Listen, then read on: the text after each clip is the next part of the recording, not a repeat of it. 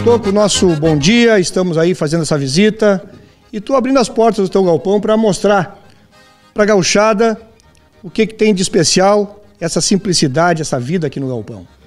Bom dia, Beto. Olha, Beto, é um, é um prazer te receber aqui no meu galpão.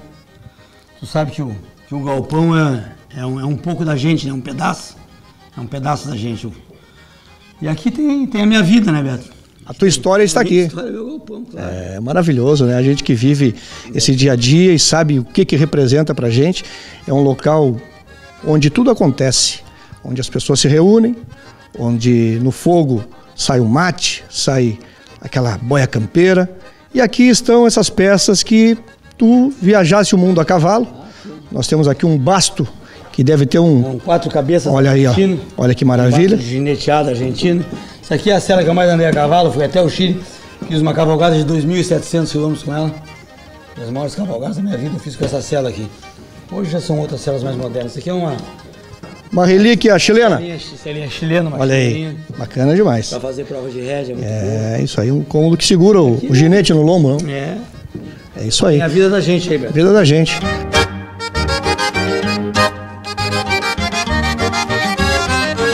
E aqui, e esse, e esse quadro aqui, Toco? Esse é o Orneiro, esse é lá Invernado Orneiro, o cavalo mais importante da raça crioula. O cavalo mais importante da América Latina. Um cavalo chileno, Cavalo né? É, mais da metade dos ganhadores da, da Expo Inter são filhos desse cavalo. Eu tenho, eu tenho aqui uma égua e um cavalo. A égua é filha da égua que foi minha montaria há 17 anos. Nasceu naquela cocheira ali. E o filho dela que também nasceu naquela cocheira ali. É um cavalo de montaria, um cavalo que já, já mandei castrar pra, pra não incomodar em casa. É para quem não entende, o cavalo, o cavalo se castra, viu? Ele não é mais bagual. Né? Então isso aí é uma, uma coisa interessante. As pessoas perguntam, às vezes, o que que é um bagual, o que que é um cavalo. Então o bagual, quando ele é inteiro, que ele ainda pode cobrir, fazer uma cobertura, e o cavalo, a quando já é castrado. pequeno, o cavalo inteiro incomoda muito. O cavalo inteiro não pode deixar junto com ela, entende? Então, num espaço pequeno, tem que castrar. Se não dá uma estrepulinha nesse galpão, coisa mais linda do mundo, né? Vamos falar um pouco dessas ferramentas, né, Toco? Porque sem espora e sem freio não tem como lidar. Tem, tem uma chilena, uma espora chilena, uma espora paraguaia, uma espora norte-americana, esporas gaúchas, todos os tipos de freio, quatro jogos, freio duro, freio bridão. Temos aqui as- as ferramentas, a nossa xerga, ferramentas de trabalho que a gente tem que usar para montar todos os dias. Bolhadeiras, espora, Olha o tamanho, olha o tamanho dessa. Mas que barbaridade. É.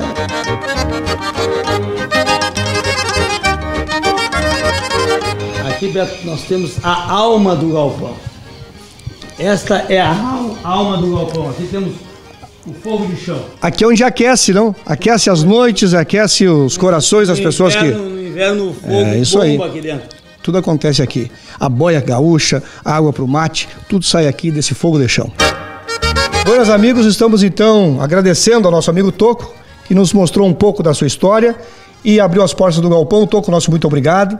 E a gente fica muito feliz em poder estar aqui participando contigo e os nossos telespectadores. Olha, Beto, para mim é um- foi um prazer receber vocês aqui.